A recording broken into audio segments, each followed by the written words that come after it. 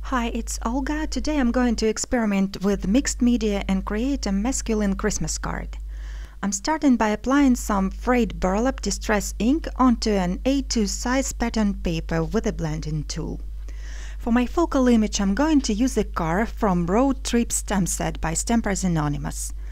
I'm going to apply two shades of permanent ink onto the stamp, brown and black one. I'm starting with a brown in the middle, then applying some black closer to the edges, and then kind of blending it all with a brown again. And I can stamp it now.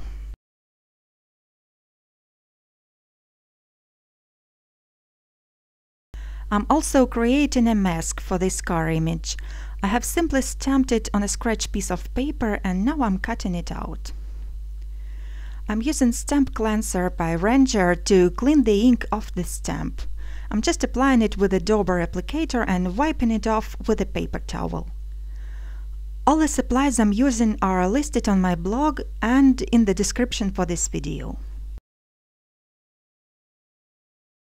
I'm going to position my mask over the image and tape it down.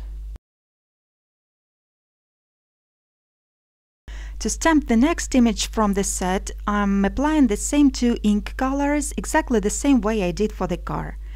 The only difference is I'm going to stamp it off on a scrap piece of paper first and then use a second generation stamping on a card.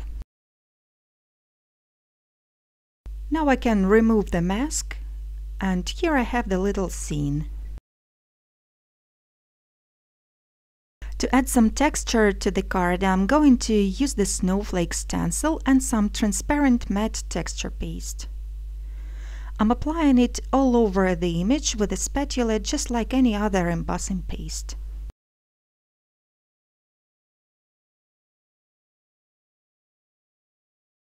When the paste has just been applied, it looks like that. And here is what it looks like when it's dry completely clear.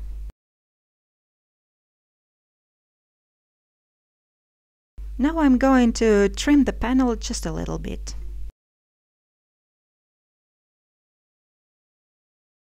Then I'm applying some walnut stain distress ink. This texture paste actually resists the color and that means I can wipe the excess ink off with a paper towel and it will make the snowflakes stand out. The next step is going all over the edges with a paper distresser.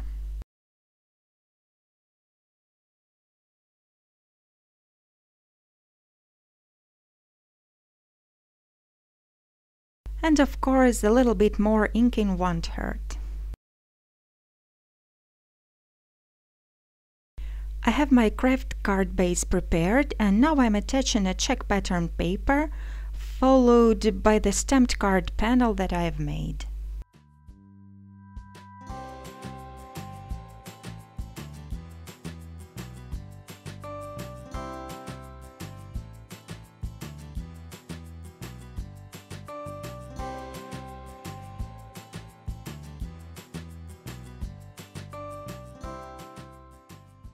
I will use a piece of burlap just to give some more holiday spirit to my card.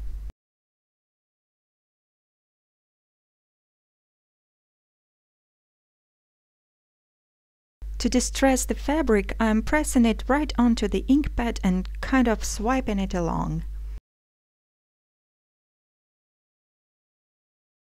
Then I'm going to press the fabric through the polka dot stencil onto the fired brick ink pad. I'm attaching my burlap to the card using the hot glue gun.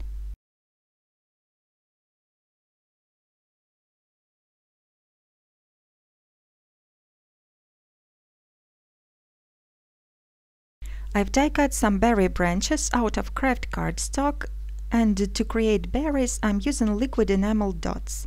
Just squeezing out some drops and then I have to let them dry completely. And while they are drying I'm going to work on the inside of the card. Have stamped this uh, fuel calculator image once with the black archival ink and now I'm going to stamp it again but I will use fired brick distress marker for the little car image in the center.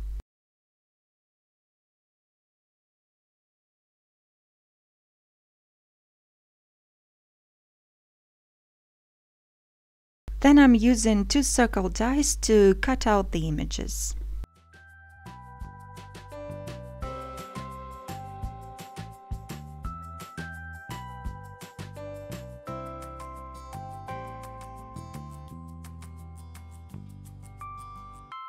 One die turned out to be slightly larger than I need, so I will use the scissors to cut out the circle that shows miles traveled.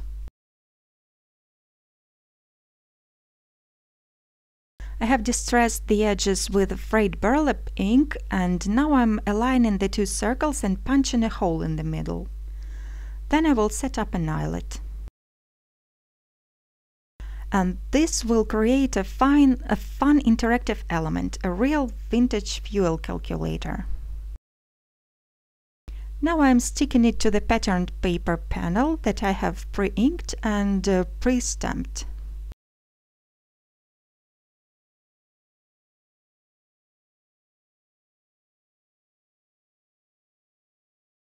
This whole piece will go on the inside of the card.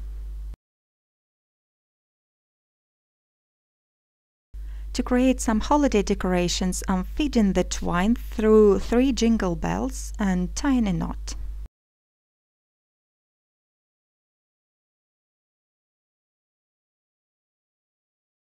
I'm attaching the die-cut holly leaves and pine twigs as well as the berry branches on top of burlap.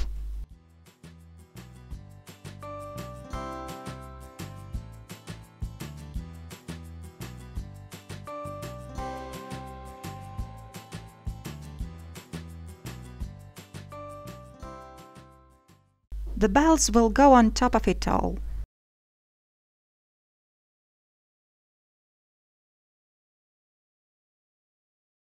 I will stick the leftover branches on the inside of a card.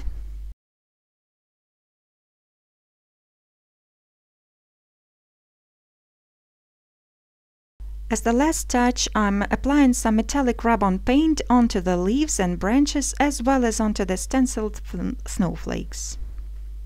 This will add some shine, make textures stand out and bring all the elements together. And the card is finished.